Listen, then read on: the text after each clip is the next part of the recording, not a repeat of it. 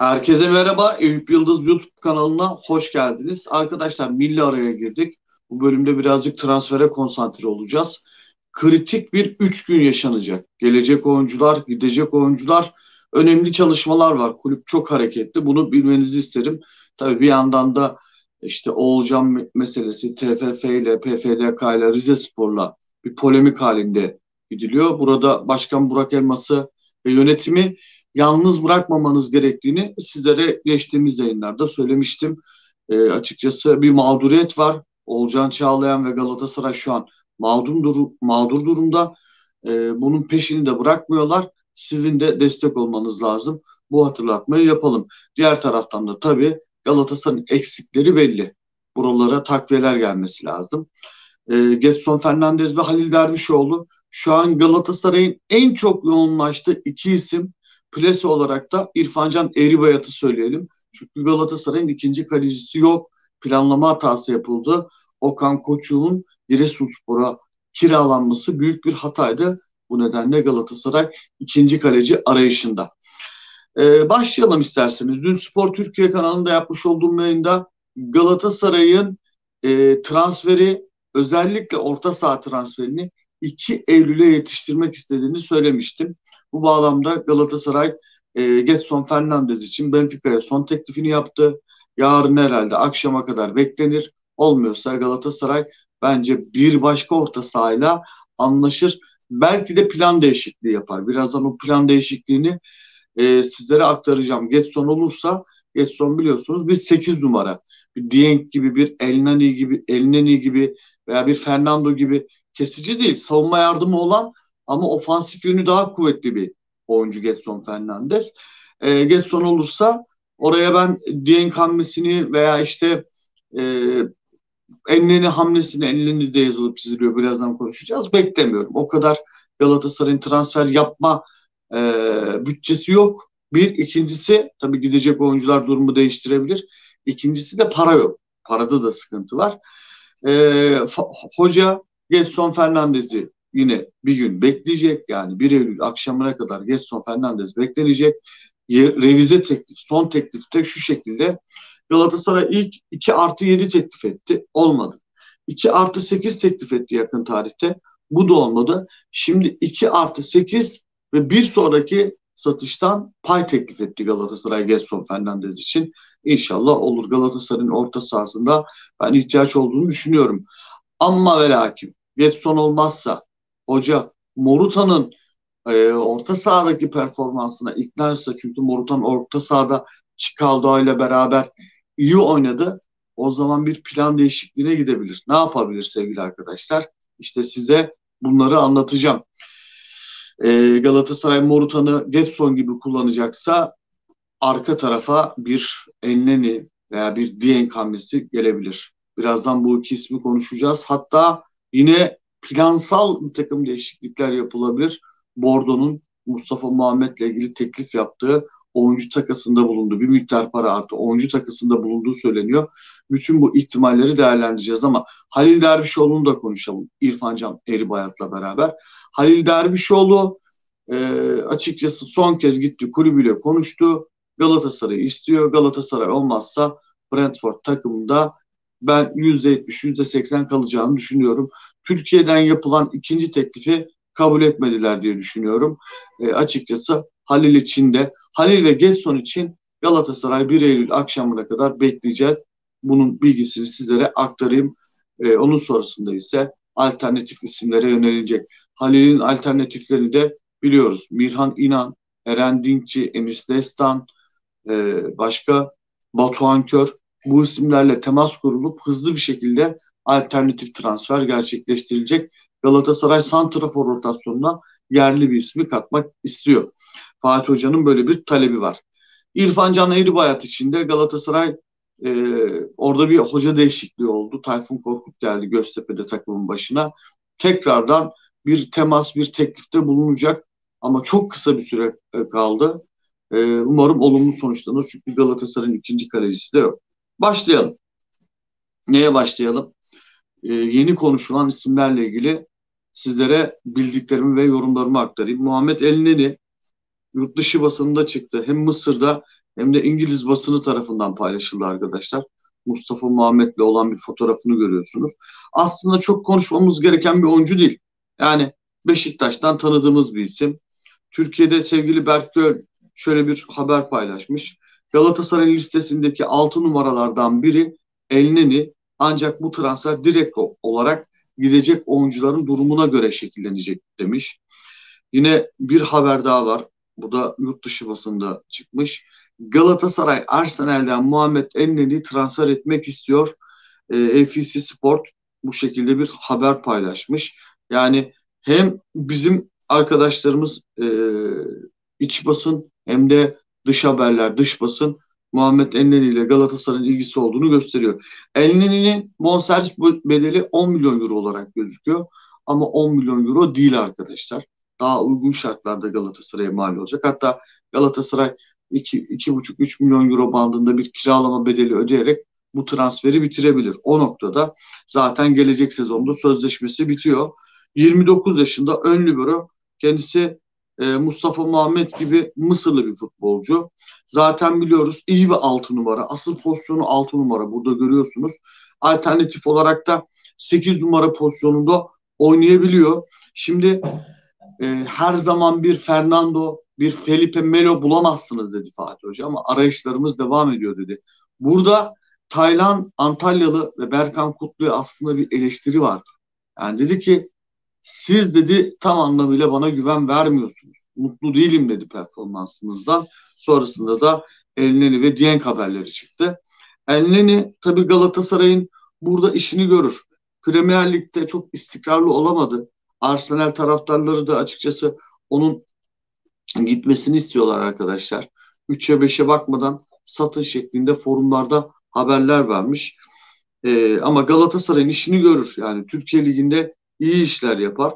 En son 2020 yılında Beşiktaş'tan kiralık olarak Arsenal'e dönmüştü. Yani 19-20 sezonunda oynamıştı. Bence gayet de iyi oynamıştı.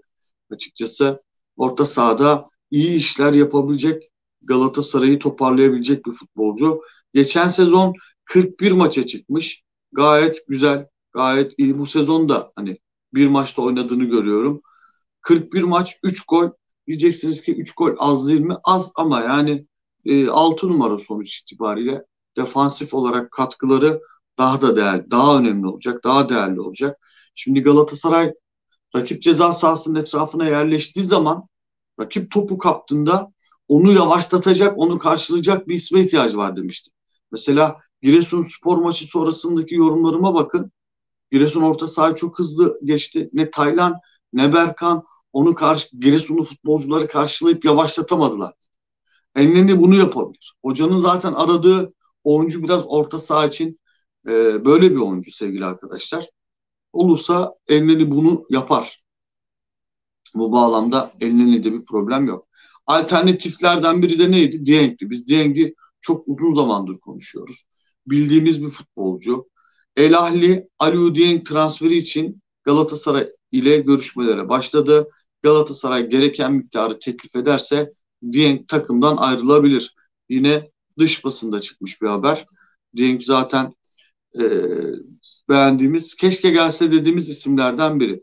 Bu görseli Parçalı Aslanım'dan aldım. Çok güzel bir çalışma yapmışlar. Zaten e, tanıdığımız bir isimdi. Transfer rapor demiş arkadaşlarımız. 11 maç, pas yüzdesi 90, ikili mücadele kazanma yüzde 44, başarılı uzun top yüzde 60, reytingi 6.88. Böyle bir çalışma yapmışlar. Aliu Dieng'le ilgili olarak. Yani bu oyuncu kendisini geliştiriyor. Çok yani genç veya yaşlı bir futbolcu değil ama gelişime açık daha henüz oyunu. Benim gözlemim bu yönde. Önlü böyle pozisyonda oynuyor. Burada yine 2 milyon euro bonservis yazıyor ama hani nasıl enleni 10 milyon değil daha düşük daha uygun fiyata gelebilir demiştim. Ee, burada da Dieng için 2 milyon euro değil daha yüksek bir para beklentisi içerisindeler. Zaten 2 milyon euro olsaydı Galatasaray şu an Dieng'i çoktan kadrosuna katmıştı. Saf 6 numara arada 8 numara oynamış ama 8 oynayacak oyuncunun Getson Fernandez gibi ofansif özelliklerinin olması gerekiyor. Bu maalesef Dieng'de çok fazla yok. Sağ ayaklı bir futbolcu. 23 yaşında az önce size söylediğim gibi. 2026'ya kadar sözleşmesi var. Elahi takımında da çok seviliyor, çok beğeniliyor. Geçen sezon, pardon toplam kariyeri bu özür dilerim. Toplamda bugüne kadar 142 maça çıkmış. 4 gol 8 asist görüyorsunuz gayet düşük bir yüzde. Yani 3921 dakikada bir gol atmış. Çok uzun. Yani ofansif yönü zayıf olan, ofansını geliştirmesi gereken ama e, açıkçası savunmanızı toparlayabilecek, rakibi karşılayabilecek, sertlik yapabilecek, sertlik derken tekme atacak, kafa atacak vesaire demiyorum yani. Taylan Antalyalı'ya veya Berkan Kutlu'ya göre ikili mücadelelerde çok daha güçlü, e, markajda çok daha başarılı bir futbolcudan bahsediyoruz. Özellik olarak bu zaten. Artısı da bu. E, bu da bu sezonki istatistiği 51 maça çıkmış. 51 maç. Kolay bir şey değil. Hele pandemi sezonu. 51 maça çıkmış. Bir gol, dört asist yapmış. Tabi orası gene bir hayal kırıklığı. İnsan istiyor ki şöyle bir 4-5 gol atsın. 5-6 e, tane de asist yapsın istiyor. Ama ondan uzak yani. Ondan uzak. Fakat Galatasaray'ın savunmasını toparlar. Gerson Fernandez gelmiyorsa, Morutan'ı göbekte kullanacaksanız Dieng'i arka, arka tarafa koyabilirsiniz. Özellikle Avrupa'da böyle oynayabilirsiniz. Veya işte takımdan ekstra bir satış yaparsanız mesela kimi gönderirseniz Babel'i gönderirseniz Dieng'i almanız çok mantıklı. Babel'i gönderip Getson artı Dieng yaparsan 10 numara 5 yıldız iş yapmış olursun. Ee, biraz e, gidecek oyuncuların durumuna, Getson'un durumuna bağlı bir transfer. Bunu belirtmek isterim. Dieng'le ilgili de bilgiler bu şekilde. Şimdi ilginç bir haber göze çarptı. Yellow Red Wolf paylaşmış. Başka paylaşan arkadaşlarımız da var. Golcü açığı olan Bordo düşük maliyetle takviye yapmaya çalışıyor. Bordo Galatasaray'ın bu kış Zamalek'ten kiraladığı Mustafa Muhammed için Samuel Kanun'un da dahil olduğu bir teklif yaptı. Görüşmeler devam ediyor. Bein Sports Fransa paylaşmış. Güvenilir bir kaynak yani sevgili arkadaşlar. Ee, yine şöyle bir haber var. Bordo Mustafa Muhammed için Galatasaray ilk teklifini yaptı. Para artı Samuel Kalu. Yani ben buna hiçbir şekilde sıcak bakmıyorum ama burada kararı ben vermeyeceğim. Bence Mustafa Muhammed gibi bir santraforun Kalu'yla e, takasta kullanılması büyük hata. Mustafa Muhammed'e ısrar edip Mustafa Muhammed'i kazanmaya çalışmak lazım. Mustafa Muhammed'i kazanırsanız şampiyon olursunuz. Mustafa Muhammed'i kazanırsanız çok büyük para kazanırsınız. Mustafa Muhammed'in potansiyelini gördük. Lige ligin ikinci yarısında bu takıma katıldı geçen sezon ve gelir gelmez Galatasaray'a atlattığı seviyeyi biliyoruz, yaşadık. O yüzden yani ben bir kez daha söyleyeceğim sevgili arkadaşlar. Mustafa Muhammed'i kazanmak lazım. Ben bu takası yapmazdım. Kaldık ki Kalu geçen sezonda Galatasaray'ın gündemine gelmişti. Onya Kurumu, Kalu'mu konuşuyorduk hatırlayın. Kalu, Ejüke, birkaç tane daha kanat oyuncusu vardı. Galatasaray'ın gündemine geliyordu. Kalu bence öyle e, çok ağım şamda bir topçu değil yani. Şurada istatistiklerini çıkarttım sizin için. Sağ kanatta oynuyor. E, senin sağ kanadın var zaten. Sağ kanatta Kerem Aktürkoğlu'nu kullanıyorsun. Emre Kılınç var. Yani oraya yine oynayabiliyor. Barış Alper Yılmaz'ı yeri geliyor sağ tarafa atıyorsun. Senin sağ kanatta bir ihtiyacın yok. Devam edelim.